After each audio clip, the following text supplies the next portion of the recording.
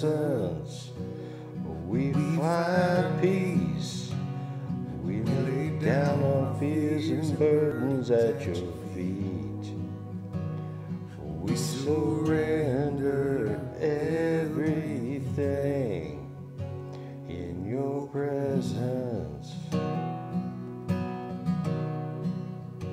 In your presence, we find grace.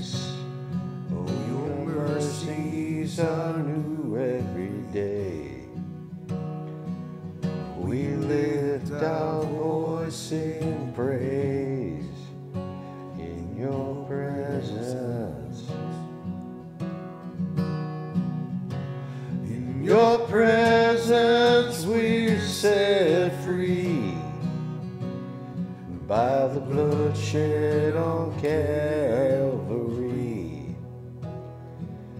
You take our sins, you wash us clean, restore us, make us whole again. There's no place we would rather be than in your presence.